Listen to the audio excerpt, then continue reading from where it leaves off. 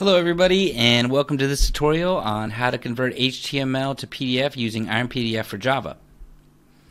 So I've created a Maven project in the Eclipse IDE. I open the pom.xml file. So it's time to add the Iron PDF dependency in the dependency section of the POM file. So now I'm adding the SLF4J dependency and pressing Ctrl S to save the file. The download of dependencies has started, so we'll take a little bit of time to download, so be patient.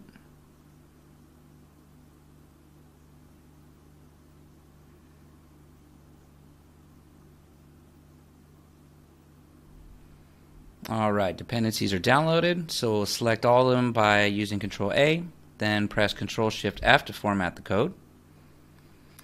In the Package Explorer, we'll open up the app.java file and here I'll write the code for HTML to PDF conversion.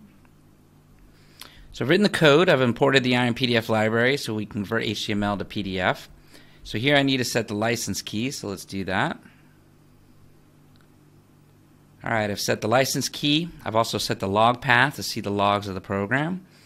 And I use the render HTML as PDF function to create a PDF file from the HTML string and then finally, I save the file path to a particular path. So let's go ahead and run the project. And we'll click on the OK button to run it.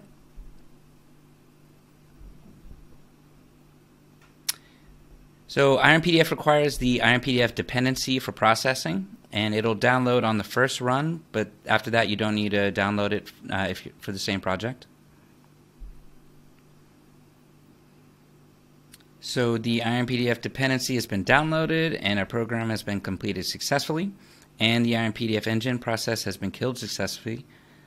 So let's open up the generated PDF file from the project folder.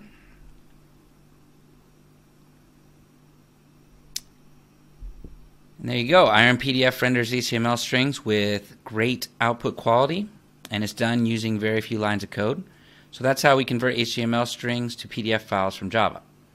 I hope this tutorial was useful, and as always, if you need any help, our support team is standing by ready to assist.